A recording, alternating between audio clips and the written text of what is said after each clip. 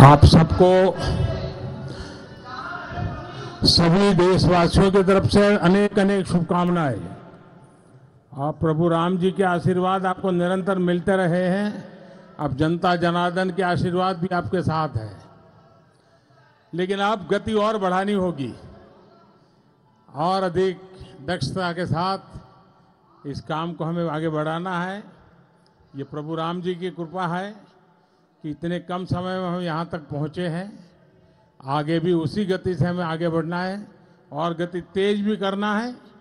मेरी तरफ़ से आप सबको बहुत बहुत शुभकामनाएँ।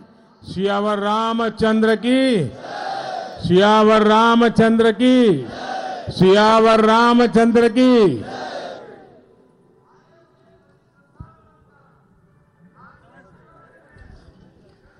धन्यवाद, सर।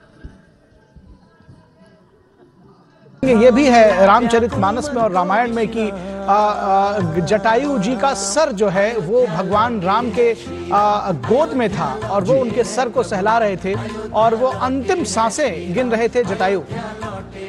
ये देखिए ये ये दिव्य तस्वीरें ये भी कही जाएँगी क्योंकि ये जो श्रमिक है प्रधानमंत्री नरेंद्र मोदी को आप देख सकते हैं पुष्प वर्षा खुद अपने हाथों से कर रहे हैं श्रमजीवियों पर और ये बड़ा योगदान श्रमजीवियों का कहा जा सकता है क्योंकि राम मंदिर के निर्माण में ज़ाहिर तौर पर एक बड़ा सहयोग चार साल बहुत बड़ा रिकॉर्ड ही कहा जा सकता है इतना विशाल काय मंदिर बनाने में दिन रात एक किया था।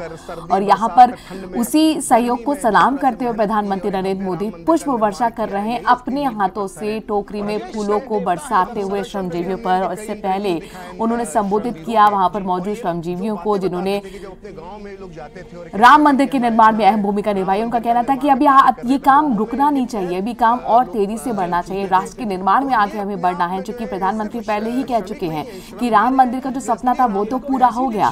लेकिन अब यहाँ से राष्ट्र के निर्माण में हमें काम करना है और भविष्य में आने वाली पीढ़ी राष्ट्र के कार्य को याद करे। इसके लिए एक हज़ार साल के भारत की नींव हमें आज से ही रखनी होगी। और देखिए, खुद प्रधानमंत्री नरेंद्र मोदी किस तरह से सम्मानित कर रहे हैं। तमाम श्रमजीवियों को अपने हाथों से पुष्प वर्षा करते हुए और ये अदम्य योगदान कहा जा सकता है, जो श्रमजीवियों की तरफ़ से दिया गया है पिछले चार सालों में। चूँकि पहले ही कोर्ट की तरफ़ से वर्डिक तो आ गया था कि राम मंदिर बनेगा राम जन्मभूमि पर, लेकिन कैसे बनेगा ये अपने आप में रिकॉर्ड है। चूँकि चार साल बहुत कम वक्त कहा जा सकता है। इतना विशाल काय दिव्य मंदिर बनाने में दिन रात की मेहनत लगी है।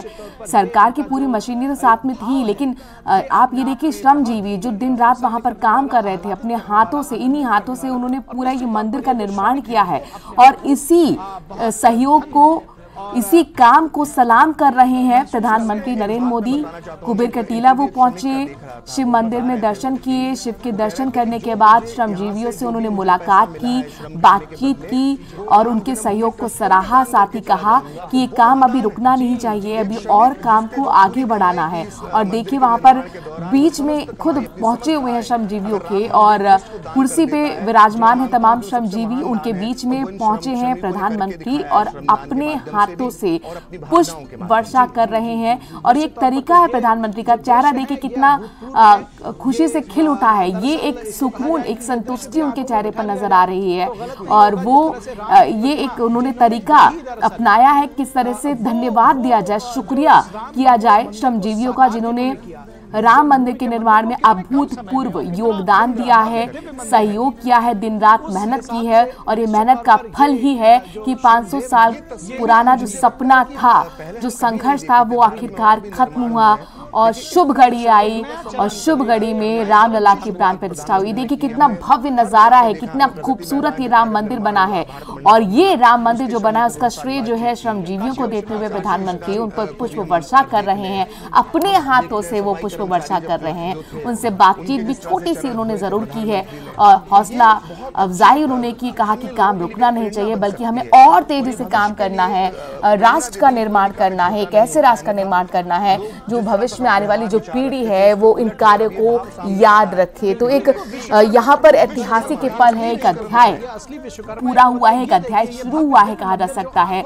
और अब देखिए, जो तमाम वहाँ पर वीवीआईपी मौजूद थे, वो भी एक एक कर अंदर जाकर दर्शन कर रहे हैं। और कल से आम जन के लिए दर्शन खुल पाएँगे। दो तस्वीरें आपके सामने हैं, और ये ऐतिहासिक पल है, ऐतिहासिक क्षण है। हर भारतवासी के लिए, हर राम भक्त का सपना आज पूरा हुआ है। गौरवान्वित करने वाला ये क्षण, प्रधानमंत्री नरेंद्र मोदी की जो खुशी है, वो आप चेहरे पर देख सकते हैं।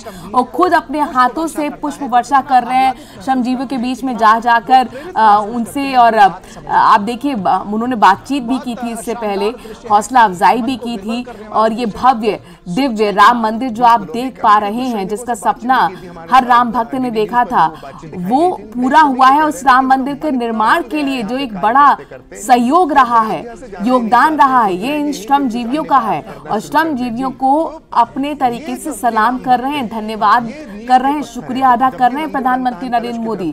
बातचीत भी की और अब पुष्प वर्षा करते हुए खुद अपने हाथों से टोकरी में फूल हैं और उन फूलों को उन श्रमजीवियों पर बरसाते हुए प्रधानमंत्री नरेंद्र मोदी, चेहरे पर प्यारी सी मुस्कान भी है। आगे बढ़कर उन लोगों के बीच में जा रहे हैं और यही ये उनका आखिरी कार्यक्रम होगा और यहाँ से वो फिर प्रस्थान करेंगे। अयोध्या में चूँकि चार घंटे का ही प्रधानमंत्री नरेंद्र मोदी का कार्यक्रम था, ये दूसरी तस्वीर आप देख रहे हैं जब प्रधानमंत्री नरेंद्र मोदी अनुष्ठान के कार्यक्रम में मौजूद रहे।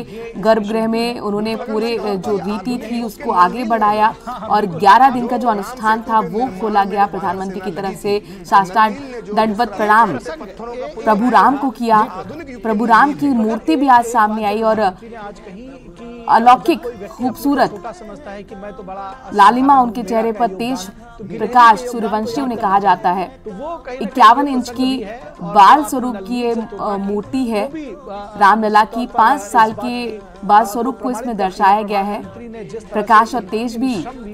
रामलला कैसे होंगे, उन तमाम जो महाकाव्यों में उल्लेख किया गया है, कुछ उसी तरह की छवि इस मूर्ति में देखने को मिलती है। और हर राम भक्त लाला